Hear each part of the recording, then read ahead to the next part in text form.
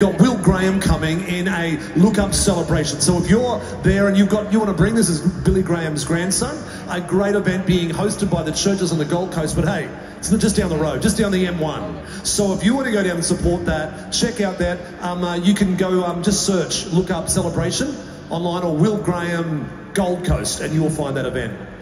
Another event coming up in September. Another opportunity happening right here is Awakening Australia.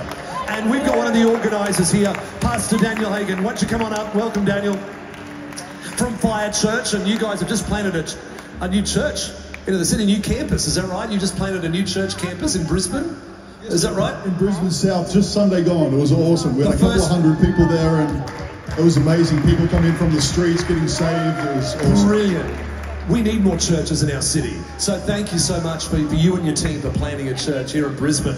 Um, Daniel, um, tell, tell us a bit about Awakening Australia. What, what's it about?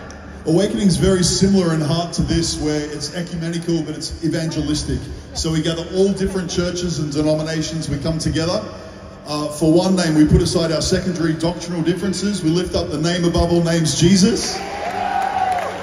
And we preach the gospel. And we believe for thousands of souls to be saved. The last event was in Melbourne Yep. uh, at the Marvel Stadium. We had around 21,000 people over the four nights. Sorry, 30,000 people over the four nights, 21,000 on Saturday night. But even better, 5,000 people literally uh, flooded the streets of Melbourne to share their faith, to preach the gospel, to hand out free tickets and bring the lost into the night rallies. Yeah. And it was awesome. And as you mentioned, Yeah. And it's going to be here, is that right? Like right here, here? Yeah. Yeah, yeah. It's going to be, we've literally just hired the stadium here at the showgrounds. Uh, September 26 to 29, we're blocking all the roads. Great. We're, we're believing for tens of thousands to gather So if you look up on the screen now, we've got um, QR code.